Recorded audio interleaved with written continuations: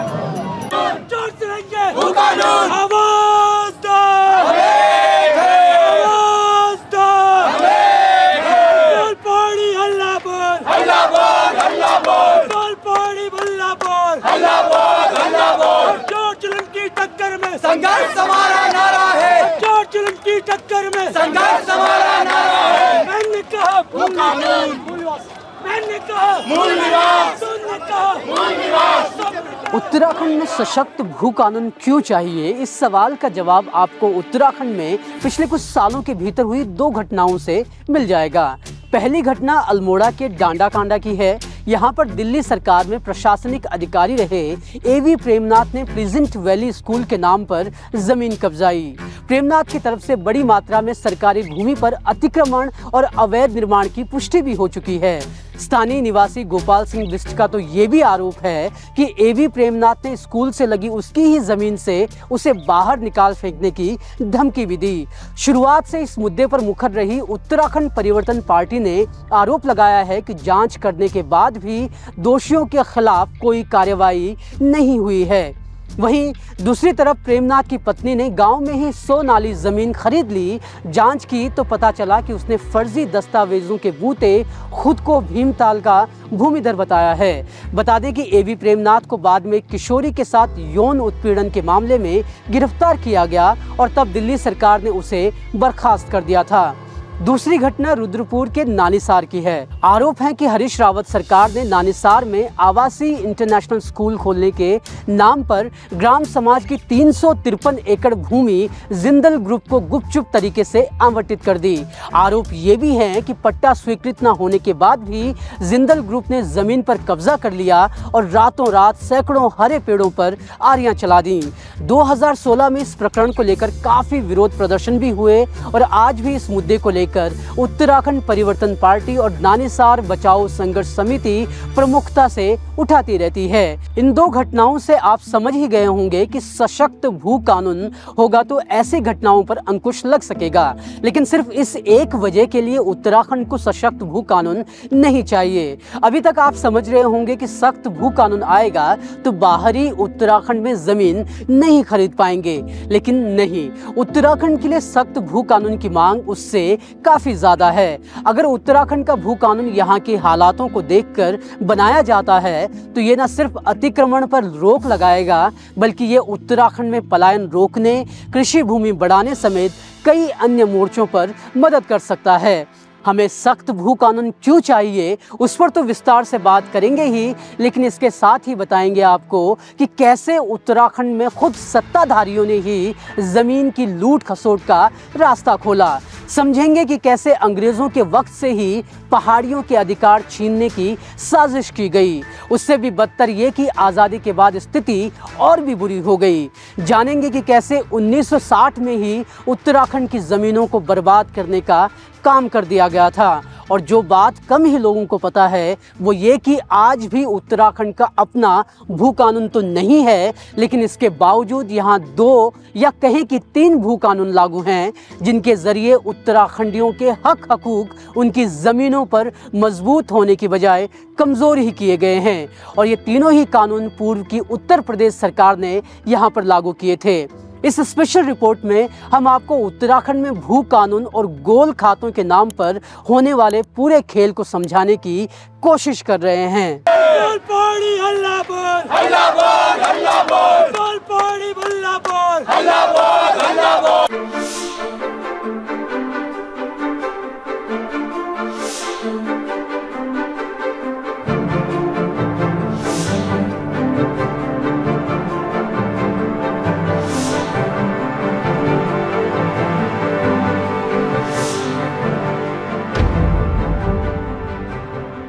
उत्तराखंड के लिए जिस सख्त भू कानून की मांग हो रही है, उसमें सिर्फ़ जमीनों की खरीद फरोख्त रोकने को ही मज़बूत भू कानून मान लेना काफ़ी नहीं है। इसमें कई और चीज़ें हैं जो शामिल किए जाने की ज़रूरत है और उत्तराखंड का सशक्त भू कानून कैसा हो, ये समझने के लिए हमें यहाँ पहले से लागू कानूनों को समझना ज़रूरी है।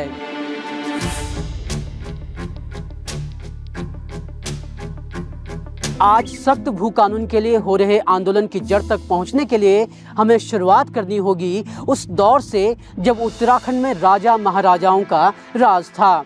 1815 में अंग्रेज़ों के उत्तराखंड में आगमन से पहले यहाँ पर सबे भूमि गोपाल की सिद्धांत लागू था। मतलब कि भूमि का कोई मालिक नहीं था, राजा को भगवान का प्रतीक माना जाता था, वो अपने सामंतों के ज़रिए इन भूमि पर अधिकार रखता था और ये कृषकों से कर वसूलते थे।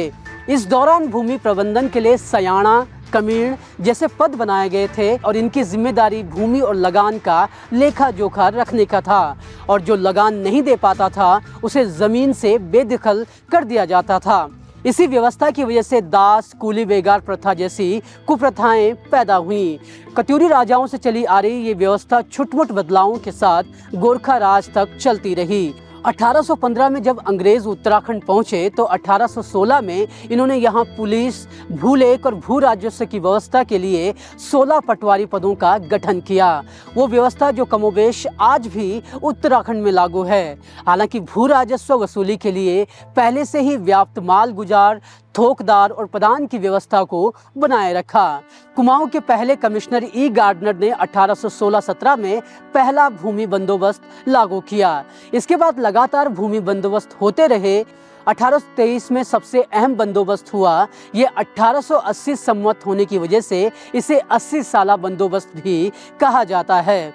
इसमें पहली बार जमीनों की पैमाइश के साथ सरमा भी बाँध दी गई। आज भी दो गाँवों के बीच सीमा विवाद होता है तो इसी 80 साला बंदोबस्त के रिकॉर्ड से मदद ली जाती है। इसके बाद बेकट के नेतृत्व में अठारह से अठारह के बीच दसवां और सबसे महत्वपूर्ण बंदोबस्त हुआ। इस बंदोबस्त में हर गाँव के नक्शे, खसरे पर्चे बनाए गए। सिर्फ़ यही नहीं, ज़मीनों को भी तलाऊ, उपराऊ अब्बल दोयम, इजरान और कंटीली श्रेणियों में बांट दिया गया। अंग्रेज़ों ने आखिरी बंदोबस्त 1902 में किया। पहाड़ में 123 साल के शासनकाल में अंग्रेज़ों ने 11 बार भूमि बंदोबस्त किए। इन बंदोबस्त की बदौलत ही फौरी तौर पर ही सही, लेकिन लोग अब इन ज़मीनों के मालिक बन चुके थे। इसके बाद अंग्रेज़ों ने अठारह सौ पैंसठ में वन विभाग का गठन किया और यहाँ के सभी जंगलों को सरकारी वन घोषित कर दिया। इस फैसले का भारी विरोध हुआ। अंग्रेज़ों ने विरोध को दबाने के लिए कई प्रपंच रचे, लेकिन जब कुछ काम करता ना दिखा तो अंग्रेज़ों ने संयुक्त प्रांत में अठारह सौ चौहत्तर में शेड्यूल्ड डिस्ट्रिक्ट एक्ट बनाया। यहाँ बता दें कि संयुक्त प्रांत में उत्तर प्रदेश और कुछ क्षेत्र कुमाऊं, जिसमें टिहरी रियासत नहीं है, शामिल था। इसमें पर्वतीय क्षेत्र के लोगों के लिए विशेष श्रेणी बनाकर उन्हें उनकी ज़मीन पर कुछ अधिकार दे दिए गए। जहाँ लोगों को लगा कि अब व्यवस्थाएँ उनके मुताबिक चल रही हैं, तभी अठारह सौ तिरानबे में अंग्रेज़ नया कानून लेकर आए। इसमें व्यवस्था की गई कि जो खेती बंजर है, वो सरकार की ही हो जाएगी। लोगों ने इसका भी जमकर विरोध किया। विरोध का नतीजा ये हुआ कि गवर्नमेंट ट्रांस एक्ट लाया गया। इस एक्ट से पहली बार कमिश्नर को ज़मीन पट्टे पर देने का अधिकार मिल गया। इससे ये हुआ कि जिस ज़मीन से लोग कमा रहे थे, उस पर उन्हें पट्टे के तौर पर अधिकार मिल गया। हालाँकि 1911 में एक बार फिर अधिकार सीमित हुए तो लोग फिर सड़कों पर उतर आए। लोगों ने जंगलों को आग के हवाले करना शुरू कर दिया। इसके बाद 1927 में नई वन नीति में लोगों के हक, हकूक उन्हें दे दिए गए। जब भी अंग्रेज़ों ने पहाड़ वासियों के हकों को मारने की कोशिश की, लोग मजबूती से इसके विरोध में खड़े हुए। इसका एक फ़ायदा ये हुआ कि 1948 में सरकार ने शेड्यूल डिस्ट्रिक्ट एक्ट के तहत Kumaon, Nayabad and wasteland act लाया। इसमें कहा गया कि जो ज़मीन जिसके पास है, उसका मालिकाना हक उसे दे दिया जाए।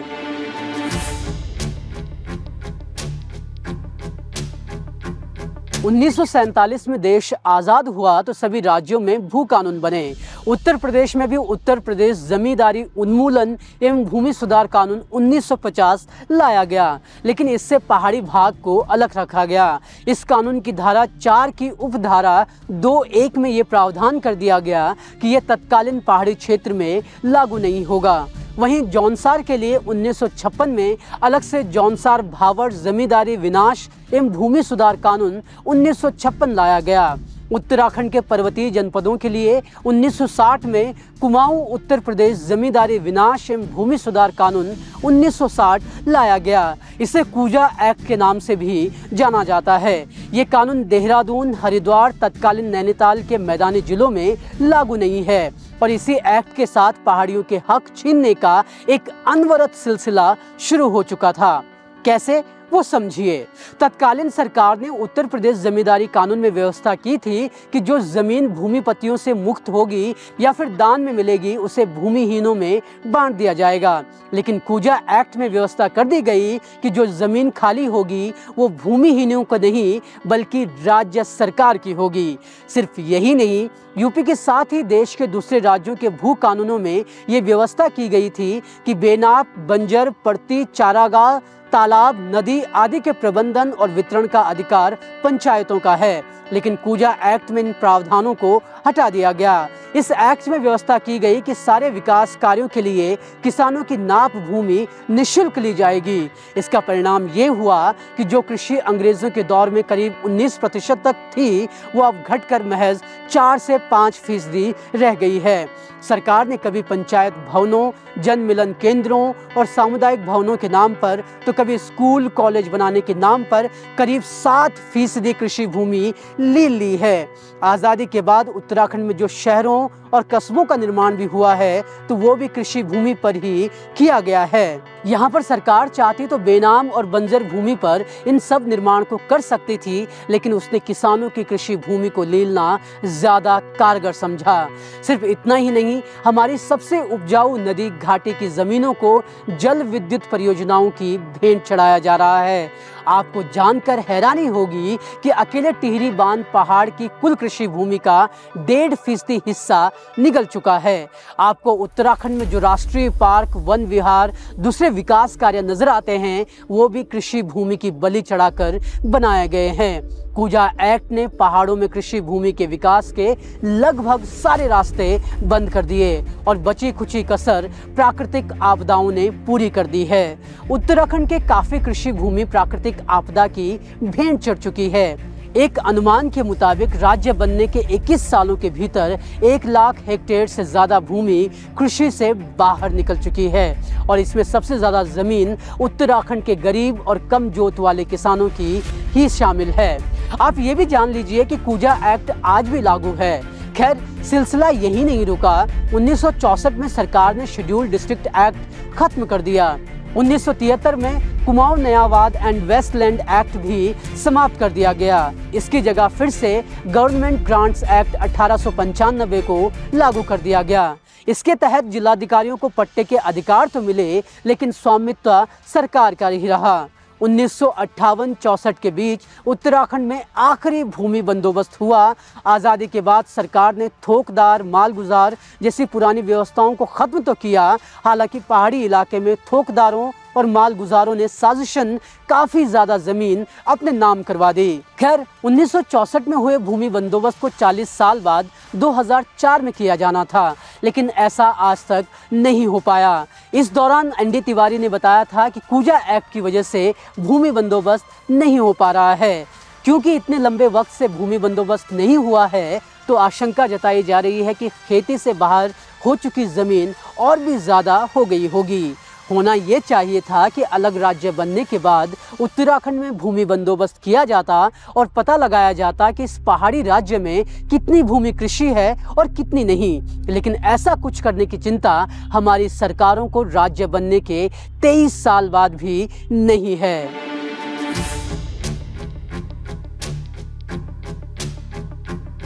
जब अलग उत्तराखंड राज्य के लिए आंदोलन हो रहा था, तब भी मज़बूत भू कानून और उत्तराखंड का अपना भू कानून लाने की मांग उठाई जाती रही। यही वजह है कि जब 2002 में उत्तराखंड की पहली निर्वाचित सरकार आई तो उस पर इन्हीं उम्मीदों पर खरा उतरने का दबाव था। इसी दबाव में नारायण दत्त तिवारी सरकार ने उत्तरांचल, उत्तर प्रदेश जमींदारी विनाश एवं भूमि व्यवस्था अधिनियम 1950 संशोधन अध्यादेश 2003 जारी किया। इसमें व्यवस्था की गई थी कि कोई भी भूमि किसी भी रूप में अकृषक व्यक्ति को ट्रांसफ़र नहीं की जा सकेगी। आसान भाषा में समझें तो उत्तराखंड की कृषक ज़मीन कोई भी अकृषक व्यक्ति नहीं खरीद सकता था। इससे बाहरियों के लिए उत्तराखंड में ज़मीन खरीदना लगभग नामुमकिन कर दिया गया था। लेकिन जैसे ही ये अध्यादेश आया तो इस पर बवाल हो गया। और बवाल होने के बाद 2003 में विजय बहुगुणा की अध्यक्षता में एक कमेटी का गठन किया गया। इस कमेटी ने बड़ी ही चालाकी से इसमें एक प्रावधान जोड़ दिया। इसमें कहा गया कि यह कानून उन क्षेत्रों पर नहीं लागू होगा, जो नगर निगम, नगर पंचायत, नगर परिषद और छावनी परिषद क्षेत्रों की सीमा के अंतर्गत आते हैं। और समय समय पर सम्मिलित किए जा सकते हैं। इस तरह विजय बहुगुणा कमेटी ने सबसे बड़ा लूप होल छोड़ दिया था। वो कैसे? ये आपको आगे पता चलेगा। खैर, इस लूप होल के बावजूद जो व्यवस्था इसमें कायम की गई, वो ये थी कि जो व्यक्ति राज्य में भूमि का खातेदार नहीं है, वो बिना किसी अनुमति के 500 वर्ग मीटर ज़मीन खरीद सकता है। ये ज़मीन भी वो सिर्फ़ आवासीय उद्देश्य के लिए एक ही बार खरीद सकता है। इतनी ज़मीन खरीदने के बाद भी वो भविष्य में राज्य का भूमि दर नहीं माना जाएगा। 2007 में खंडूरी सरकार ने 500 वर्ग मीटर की सीमा को घटाकर 250 वर्ग मीटर कर दिया। लेकिन इस दौरान भी कानून की वो धारा दो नहीं हटाई गई, जिसके तहत भगुणा कमेटी ने नगरीय क्षेत्र में ज़मीन खरीदने की खुली छूट दी थी। 2017 में फिर बीजेपी सरकार आई और त्रिवेंद्र सिंह रावत ने धारा दो का सबसे पहले फ़ायदा उठाया। तत्कालीन सरकार ने प्रदेश के 13 में से 12 जिलों के तीन गाँवों को नगर निकायों में शामिल कर दिया और इस तरह इन गाँवों में ज़मीन की खरीद फरोख्त का रास्ता खुल गया। लेकिन त्रिवेंद्र सिंह रावत यही नहीं रुके। 2018 में उन्होंने यूपी जमींदारी कानून में संशोधन किया और भूमि खरीद की सीमा ही खत्म कर दी। सिर्फ़ यही नहीं, उन्होंने कृषक ज़मीन का भू उपयोग बदलना भी आसान कर दिया। ये संशोधन ये कहकर किए गए कि ये पहाड़ में उद्योग धंधों के लिए ज़रूरी हैं, जबकि मूल अधिनियम में उद्योग धंधों के लिए छूट पहले से ही थी। खैर, त्रिवेंद्र सिंह रावत सरकार ने राज्य बनने से जारी भूमि की खरीद फरोख्त को जैसे बूस्टर डोज दे दिया था। इन संशोधनों के बाद उत्तराखंड एकमात्र ऐसा हिमालयी राज्य बन गया है, जहाँ की ज़मीन कोई भी खरीद सकता है। इसके बाद उद्योग धंधे तो पहाड़ में नहीं लगे, लेकिन कुमाऊं से लेकर गढ़वाल तक हर जगह ज़मीन की बेतरतीब खरीद फरोख्त शुरू हो गई। और मौजूदा भू कानून की मांग को लेकर जो आंदोलन आज आप देख रहे हैं, वो त्रिवेंद्र सरकार के इसी फैसले के बाद तेज हुआ। लेकिन विडंबना देखिए कि पहाड़ की वस्तु स्थिति को कोई भी समझने को तैयार नहीं है। उद्योगों के लिए पहाड़ में ज़मीन बची ही नहीं है। राज्य निर्माण के समय बताए गए आंकड़ों के मुताबिक उत्तराखंड में कुल भूमि का रकबा पचपन लाख बयानबे हज़ार तीन सौ इकसठ हेक्टेयर है।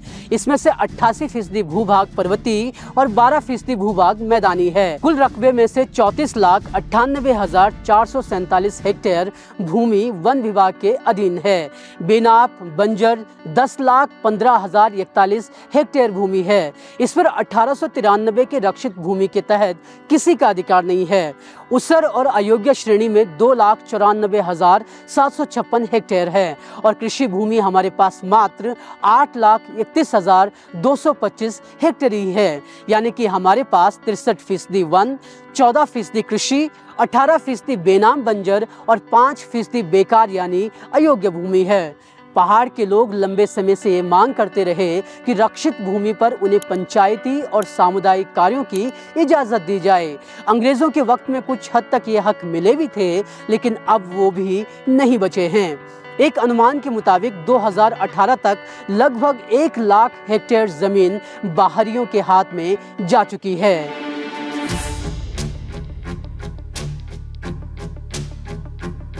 उत्तराखंड में सीढ़ी नुमा खेत हैं और लोगों की जोत यहाँ वहाँ बिखरी हुई है। ऐसे में कोई इन खेतों पर अपनी आजीविका के लिए निर्भर नहीं रह पाता। जो कुछ लोग खेती कर भी रहे हैं तो उनके सामने चुनौतियों का पहाड़ खड़ा है। पहाड़ की खेती बारिश पर निर्भर है और जलवायु परिवर्तन की वजह से ये पहले से ही प्रभावित हो रही है। इसके बाद भी अगर कुछ उगता भी है तो बंदर और सुअर उसे बर्बाद कर देते हैं। इससे खेती बचाने के लिए सरकार भी चिंतित नज़र नहीं आती। खेती से परिवार का भरण पोषण करना भी मुश्किल हो गया है। ऐसे में माँ बाप अपने बच्चों को पढ़ा लिखा कर नौकरी के लायक बनाने पर ज़्यादा फोकस कर रहे हैं। लगातार घटती कृषि की ज़मीन कृषि के नुकसान का व्यवसाय बन जाने की वजह से लगातार पलायन बढ़ रहा है। सरकार ने 1980 में वन कानून लाया और 2000 मीटर के सारे जंगलों में व्यावसायिक कटान पर रोक लगा दी गई। पूरे उत्तराखंड ने इसका ईमानदारी से पालन किया, लेकिन इसका एक नुकसान अब ये हो रहा है कि पूरे उत्तराखंड में चीड़ के जंगल खड़े हो गए हैं। अंग्रेज़ों ने इसे पहाड़ में लाया था, उन्होंने इससे तो खूब धन कमाया, लेकिन आज ये पहाड़ के लिए बड़ी आफत बन चुके हैं। चीड़ के बीज हवा में उड़कर दूर तक जा सकते हैं, और आज स्थिति ये हो गई है कि उत्तराखंड के बांझ को चीड़ लील रहा है। बांझ उत्तराखंड में प्राकृतिक जल स्रोतों और चारे का अहम स्रोत है, लेकिन वो भी धीरे धीरे चीड़ की भेंट चढ़ रहा है। चीड़ की वजह से जहाँ आग नहीं लगती थी, वहाँ भी अब आग लगने लगी है। चीड़ के जंगलों का वैज्ञानिक प्रबंधन करने की ज़रूरत है, लेकिन सरकार कुछ नहीं करती दिखाई देती। दूसरी तरफ़, वन्यजीव संघर्ष को कम करने के लिए भी सरकार की तरफ़ से कोई प्रयास नज़र नहीं आते। सरकार ने जैसे पलायन आयोग बनाकर अपनी जिम्मेदारियों से छुटकारा पा लिया है।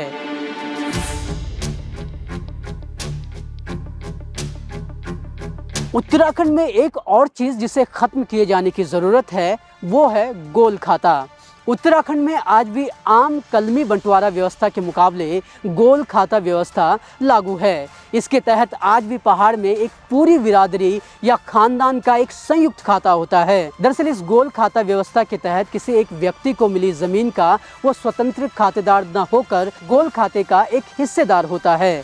ऐसे में अगर कोई बाहरी एक खानदान की ज़मीन का एक छोटा सा टुकड़ा भी खरीदता है तो वो भी उस खानदान के गोल खाते का हिस्सेदार हो जाएगा। सिर्फ़ यही नहीं, अगर कोई व्यक्ति अपने हिस्से की ज़मीन पर कर्ज लेना चाहता है तो ऐसे में फिर उसे सभी खातेदारों के हस्ताक्षर लेने होंगे, जो कि एक बोझिल काम साबित होता है।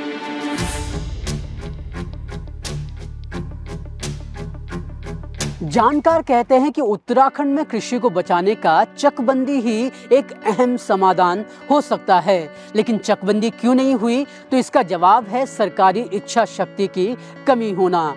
जानकार कहते हैं कि चकबंदी के लिए भूमि बंदोबस्त होना ज़रूरी है। जब तक ये पता नहीं चलेगा किसके पास कितनी ज़मीन है या कितनी ज़मीन कृषि की है और कितनी बेनाप तब तक चकबंदी नहीं हो सकती। 1960 के बाद भूमि बंदोबस्त हुआ ही नहीं है और जब तक ये नहीं होता, तब तक चकबंदी भी आसान नहीं है। दूसरी तरफ़ पहाड़ छोड़कर देश विदेशों में बस चुके कई लोगों को पहाड़ की खेती से कोई फ़र्क नहीं पड़ता। इनमें से कई ऐसे लोग हैं जिनकी ज़मीन सालों से बंजर पड़ी है। ये लोग गाँव के दूसरे लोगों को भी अपनी ज़मीन पर कुछ करने नहीं देते और नतीजा इन खेतों पर जंगल खड़े हो रहे हैं और जंगल में तब्दील होते ही सरकार इन्हें अपने कब्जे में ले लेगी।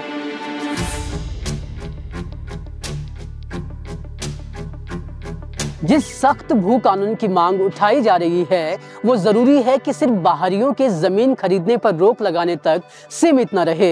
हिमांतर पत्रिका को दिए एक इंटरव्यू में इतिहासकार और हिमालय के मुद्दों पर मुखर रहने वाले प्रोफेसर शेखर पाठक कहते हैं कि उत्तराखंड में नया और सशक्त भू कानून आज की परिस्थितियों के हिसाब से लाया जाना चाहिए। वो कहते हैं कि सबसे पहले सरकार को चाहिए कि वो मौजूदा दौर में लागू भू कानून के काले कानूनों को निरस्त कर दे। सरकार भूमि बंदोबस्त करे और लगातार घटती कृषि भूमि में वृद्धि करने के लिए काम करे। वो कहते हैं कि ये कम से कम 30 से 33 प्रतिशत हो। सीलिंग की जमीनों का कानूनी रूप से बंटवारा किया जाना चाहिए और जिन जमीनों पर भूमाफियाओं का कब्जा है, उनको सरकार अपने कब्जे में ले और उन पर कार्यवाही करे। किसी भी बाहरी व्यक्ति को ज़मीन खरीदने का अधिकार न दिया जाए। शेखर कहते हैं कि कृषि ज़मीन की खरीद फरोख्त पर पूरी तरह से रोक लगाई जाए और पूरे उत्तराखंड में चकबंदी लागू हो। शेखर पाठक कहते हैं कि जब दूसरे हिमालयी राज्यों में ज़मीन को लेकर सख्त कानून हैं, तो उत्तराखंड में क्यों नहीं? वो कहते हैं कि ये नियम सिर्फ़ उत्तराखंड की ज़मीन बचाने के लिए नहीं बल्कि हिमालय को बचाने के लिए भी ज़रूरी है। उत्तराखंड की सत्ताधारी पार्टियों को समझने की ज़रूरत है कि वो भी हिमाचल की तर्ज पर काम करे। हिमाचल ने पहले अपनी ज़मीन को बचाया और फिर उसे विकसित करने पर फोकस किया। उत्तराखंड को अपने एक अलग भू कानून की ज़रूरत है, जिसको हिमाचल प्रदेश समेत दूसरे हिमालयी राज्यों के कानून देखकर बनाया जा सकता है। लेकिन आखिर में ये उत्तराखंड में कृषि के लिए परिस्थितियाँ बेहतर करने वाला पलायन रोकने वाला और स्वरोजगार पैदा करने वाला होना चाहिए। भू कानून के मुद्दे पर कई बातें हैं जो कही और लिखी जा सकती हैं, लेकिन हमने इस रिपोर्ट में अहम पॉइंट्स को कवर करने की कोशिश की है। आपको हमारी ये रिपोर्ट कैसी लगी, ज़रूर बताएँ। पसंद और समझ में आए तो दूसरों के साथ भी शेयर करें और इसके साथ ही चैनल को सब्सक्राइब करना ना भूलें। इसके अलावा अगर आप भू कानून के मुद्दे पर कोई बात रखना चाहते हैं, भू कानून के मुद्दे पर कोई जानकारी हमें देना चाहते हैं तो कमेंट बॉक्स में ज़रूर लिखें और हम वहाँ पर आपके साथ सार्थक चर्चा करने को भी तैयार हैं।